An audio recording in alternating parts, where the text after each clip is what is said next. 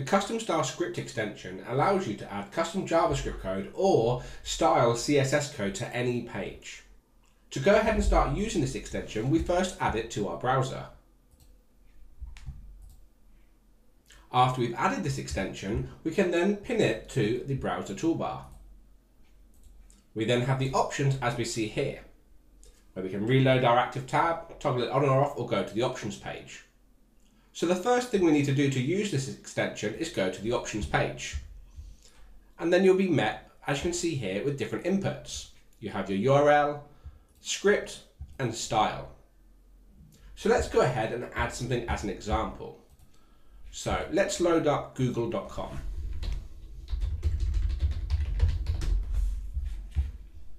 So if we want to add custom script or style to this page, we go ahead and copy the URL and add it into the URL input. We can then add either script or style or both. So let's start by adding in some custom JavaScript that's going to make a pop-up appear when we visit that page. So here we go, adding the event listener for the window load, and then an alert is going to pop we go ahead and add this. And you can see this code is now set. You then have the options here within this code, which are domain, top, and iframe. Domain basically means that this will work across the whole domain name, not just a specific URL. So by having this on, it will work all across google.com. Top means that it checks to make sure that the reference of the page matches the um, location reference of the page in JavaScript to make sure it's the top version of that page so it fires correctly. Whereas the iframe essentially checks that the URL matches this. So essentially, if we were to go to google.com, the iframe would check that this matches via the URL and then it would apply these rules. So by default, the domain and top are selected, but the iframe isn't. You then have the ability to turn this on and off via the state option we see here as well. So to see this work, we go back to Google and we click in our toolbar and we can click to turn on or to reload the page. So we can see here it's already on because it's coloured, whereas off makes a grayscale. Now we go ahead and we're going to reload the active tab. Upon doing so, we see that custom JavaScript has been fired and we see our alert box that says Google is loaded as we've demonstrated. We can go back to this style and we can go ahead and add some custom code if we like. So for example, let's add some custom CSS. So we want to set the main background of Google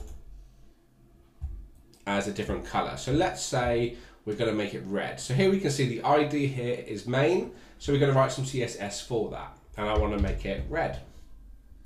So we go back to the options panel and inside the code here, we write the main identity selector, and then background color is red. Now when we go ahead, we can see this is indeed kicked in and the main background color is red. What you can also do is you can set multiple rules for the same domain name, which you can then toggle on and off. So for example, let's say we want to keep the Google rule, but we want to make the background color yellow.